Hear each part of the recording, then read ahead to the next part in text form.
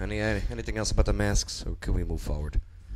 I'm almost getting tired of talking about masks. I know it's. You know what I mean? Dumb. um, uh, but I'm not getting tired of fighting for your rights. Okay? yeah. I am not getting tired of that. Oh, just do it. Just comply. What about everybody else? Okay, how about Japan with their face mask mandate? For now, what, three months? And they got the worst numbers. How about New York, who's had this mandate for face masks day after day after day But for the- months now, and their numbers were terrible. Okay? But the thing is about Japan, they always been wearing masks. R- right. So for pollution. Yeah, they they wore them before for pollution reasons. There. Oh, what about the kids when they go to school? Well, hey, how about after school, if they go visit grandma and grandpa, have them wear a mask? Okay? You're affecting a lot of people and a lot of businesses. You want to tank this economy?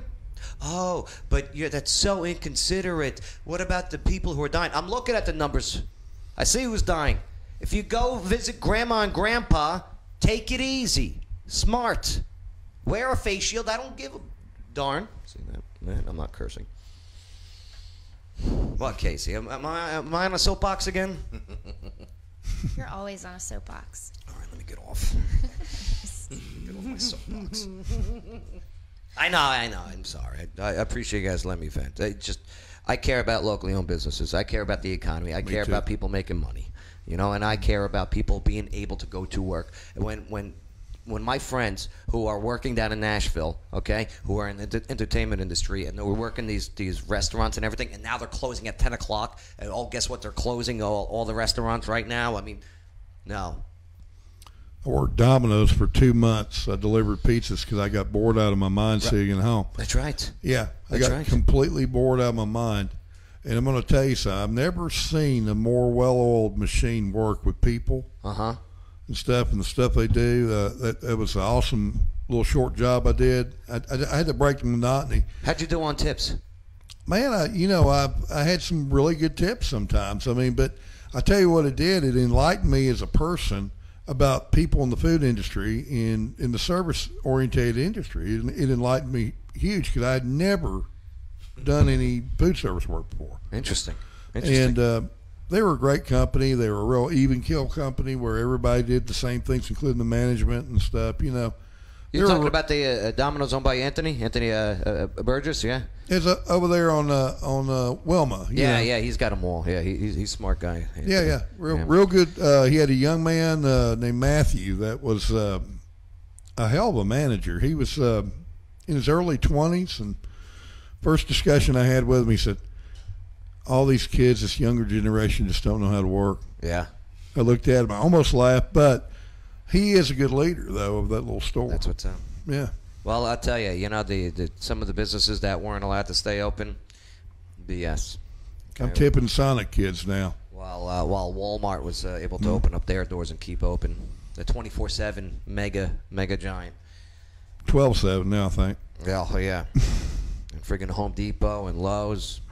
They're having to all do s- hours, crazy different hours. I feel like that's part of the problem too. Is people? I know me personally. I love shopping local. I will support local Yeah. over chain uh, anytime. But Uh-huh. it's a pain. I never know if anybody's open or Right. if you can walk in or you have to order ahead of time, and it's such a pain. You have to research before you go eat. I was talking to my cop buddies this past weekend because uh, I was at a party. I'm not going to say where. I'm not going to give names. They are getting phone calls. You know, hey, somebody's not wearing a face mask. Okay. Was that Karen saying they were? Okay.